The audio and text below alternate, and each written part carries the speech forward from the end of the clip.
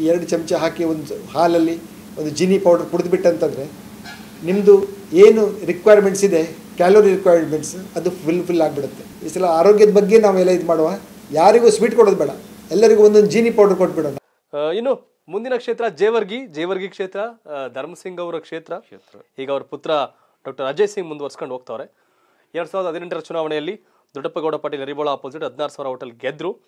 ಇದೀಗ ಬಿಜೆಪಿಯಿಂದ ದೊಡ್ಡಪ್ಪಗೌಡ ಪಾಟೀಲ್ ನರಿಬೋಳ ಹಾಗೆ ಶಿವರಾಜ್ ಪಾಟೀಲ್ ದೇ ದೇವಾಡಿಗ ವಾಡಿಗ. ಇವ್ರು ಇಲ್ಲಿ ಕಂಟೆಸ್ಟ್ ಮಾಡಲಿಕ್ಕೆ ಕೊಟ್ಟಿದ್ದಾರೆ ಶಿವರಾಜ್ ಪಾಟೀಲ್ ಅವರು. ಬಟ್ ಇಲ್ಲೇನು ಟಿಕೆಟ್ ಯಾರಿಗೆ ಅನ್ನೋದು ಇನ್ನೂ ಕನ್ಫರ್ಮ್ ಆಗಿಲ್ಲ ಬಿ ಜೆ ಪಿಯಿಂದ ಬಟ್ ಕಾಂಗ್ರೆಸ್ನಿಂದ ಡಾಕ್ಟರ್ ಅಜಯ್ ಸಿಂಗ್ ಕಂಟೆಸ್ಟ್ ಮಾಡ್ತಾರೆ. ಜೆ ಡಿ ಸಿಂದ ಕೇದಾರ್ ಲಿಂಗಯ್ಯ ಹಿರೇಮಠ್ ನಿಲ್ತಾರೆ. ದೊಡ್ಡಪ್ಪಗೌಡ ಪಾಟೀಲ್ ಅಥವಾ ಶಿವರಾಜ್ ಪಾಟೀಲ್ ಇಬ್ಬರಲ್ಲಿ ಯಾರು ನಿಲ್ತಾರೆ ಅಂತ ನೋಡಬೇಕು. ಯಾರೇನು ನಿಂತರೂ ಅಜಯ್ ಸಿಂಗ್ ಅಜಯ್ ಸಿಂಗ್ ಮುನ್ನಡೆಯನ್ನು ಗೆಲ್ತಾರೆ ಯಾವುದೇ ರೀತಿ ನಮ್ಮ ಲಾಸ್ಟ್ ಸರ್ವೆಲ್ಲೂ ಕೂಡ ಅಕ್ಟೋಬರ್ ಕೂಡ ಅಜಯ್ ಸಿಂಗ್ ಪರವಾಗಿತ್ತು ಕಾಂಗ್ರೆಸ್ ಪರವಾಗಿತ್ತು. ಅಜಯ್ ಸಿಂಗ್ ಸೋತಿದ್ ಯಾವಾಗ ಅಂತಂದ್ರೆ ಇದು ಧರ್ಮ ಸಿಂಗ್ ಸೋತಲ್ಲ ಎರಡ್ ಸಾವಿರದ ಎಂಟರಲ್ಲಿ. ಎಂಟರಲ್ಲಿ. ಆಗ ದೊಡ್ಡಪ್ಪಗೌಡ ಪಟೇಲ್ ಒಳಗೆ ಗೆದ್ದಿದ್ರು ಬಿಜೆಪಿ ಗೆದ್ದಿದ್ರು. ಈ ಹಿಂದೆ ಇವ್ರ ಫ್ಯಾಮಿಲಿ ಅವರು ಬಹಳ ಸೋತಿದ್ದಾರೆ ದೊಡ್ಡಪ್ಪಗೌಡ ಪಟೇಲ್ ಇರಬಾರ್ದು ಅವ್ರ ಫ್ಯಾಮಿಲಿ ಬಟ್ ಇಲ್ಲಿ ಅಜಯ್ ಧರ್ಮ ಸಿಂಗ್ ಡಾಕ್ಟರ್ ಅಜಯ್ ಸಿಂಗ್ ಏನಿದಾರಲ್ಲ ಅವರು ಜೇವರ್ಗಿಯಲ್ಲಿ ಮತ್ತೆ ನವೆಂಬರ್ ಸರ್ವೆ ಪ್ರಕಾರ ಮುನ್ನಡೆನ ಸ್ವಲ್ಪ ಕ್ಷೇತ್ರದಲ್ಲಿ ಉಳ್ಕೊಂಡು ಸ್ವಲ್ಪ ಕೆಲಸ ಮಾಡ್ತಾರೆ ಅಂತ ಇದೆ ಅವ್ರದ್ದು. ಇಲ್ಲ ನಾನು ಇವರೆಲ್ಲ ಪ್ರಶ್ನೆ ಮಾಡೋದೇನು ಅಂತಂದ್ರೆ ನಿಮ್ಮನ್ನ ಜನ ಏಳರಿಂದ ಹತ್ತು ಸಾವಿರ ಗೆಲ್ಸವರಲ್ಲ ನಿಮ್ ತಂದೆನ.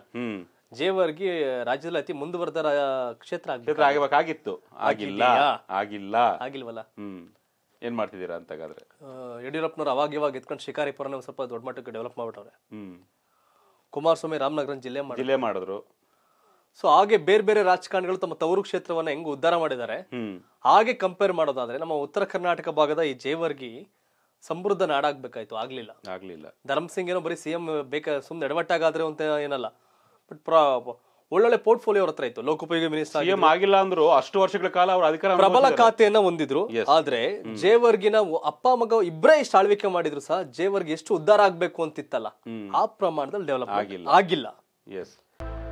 ಮಗು ದಷ್ಟಪುಷ್ಟವಾಗಿ ಆರೋಗ್ಯವಾಗಿ ಬೆಳಿಬೇಕಂದ್ರೆ ತಾಯಿಯ ಎದೆಹಾಲು ಹಾಗೂ ಪೌಷ್ಟಿಕ ಆಹಾರ ಮುಖ್ಯ. ಮೊದಲೆಲ್ಲ ನಮ್ಮ ಅಜ್ಜಿ ಮನೆಯಲ್ಲೇ ಸರಿ ಇಟ್ ಮಾಡ್ಕೊಡ್ತಿದ್ರು. ಅದ್ರೀಗ ಜೀನಿ ಅವ್ರು ಮಾಡ್ತಿದ್ದಾರೆ. ಯಾಕಂದ್ರೆ ಜೀನಿ ಸರಿ ಇಟ್ ಕೂಡ ನಮ್ಮ ಅಜ್ಜಿ ಮಾಡೋ ತರಾನೇ ಇದೆ. Thank you Jeeni.